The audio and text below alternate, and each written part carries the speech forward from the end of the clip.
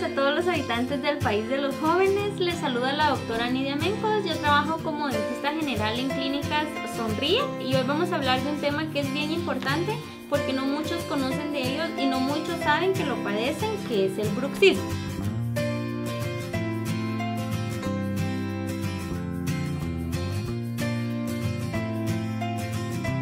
Bruxismo es el hábito eh, de rechinar o de apretar los dientes. Esto lo podemos hacer de día, o sea, de manera consciente, que es un bruxismo diurno. Lo podemos hacer de noche, que es el que generalmente la mayoría de personas hacen, que es de manera inconsciente. O lo podemos hacer no haciendo este movimiento, sino apretando los dientes.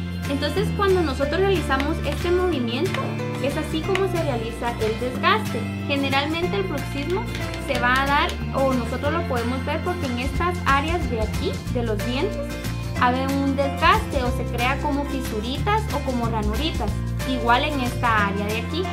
Y en las piezas posteriores se van creando, creando como lagunitas que está causado por la misma fricción que nosotros hacemos.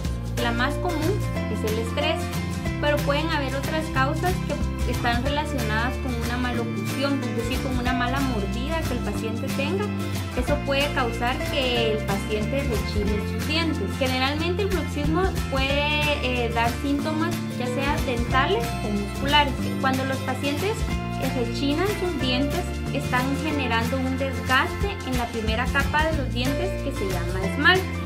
Entonces este desgaste crea facetas de desgaste eh, propiamente dichas y que eh, generan que los pacientes sientan sensibilidad al frío, al calor o a lo dulce.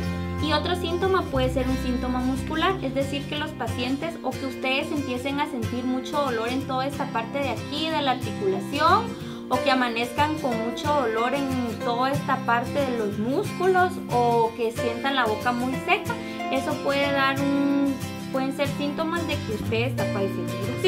Puede dar a afectar bastante porque podemos, puede causar una alteración en la articulación temporomandibular. Entonces, ¿qué quiere decir eso? Que usted va a pasar con mucho dolor, eh, va a sentir sus dientes siempre tensos y puede causar el desgaste completo de los dientes. Allí es como que los pacientes lo que hacen es que desgastan tanto los dientes que llegan hasta el nervio del diente y causan mucho dolor. Entonces ahí ya se tiene que hacer un tratamiento mucho más fuerte, hablando de hacer un tratamiento de canal y de poner una restauración que cubra toda la parte pepida del diente. Entonces sí puede ser un daño grande el hecho de no controlarnos el bruxismo es esencial tener nuestra boca limpia, libre de caries y libre de cualquier infección.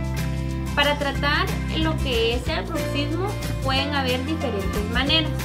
Una de las más simples es utilizar un guarda oclusal que se diseña con la medida de su boca y lo pueden utilizar durante la noche. También podemos hacer algunos ejercicios para los músculos tratar de hacer eh, algunos ejercicios de relajación o algunas maneras de nosotros poder controlar nuestro estrés y también en algunos casos es necesario la intervención de algún cirujano maxilofacial que nos ayude cuando ya está alterada la articulación temporomandibular.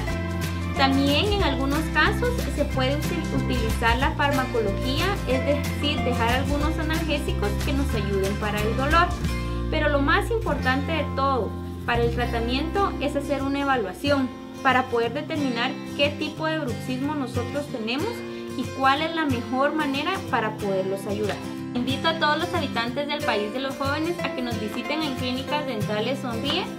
Eh, nosotros les podemos ayudar a resolver todas sus dudas, no solo del bruxismo, sino de cualquier eh, padecimiento, cualquier síntoma que ustedes tengan visítenos, aquí tenemos, contamos con una amplia gama de especialistas, también con mucha tecnología, les tomamos radiografías digitales, nos sentamos con ustedes, les explicamos bien para que ustedes eh, sepan cuál es lo, qué es lo que padecen y cómo nosotros les podemos ayudar, qué tratamiento les.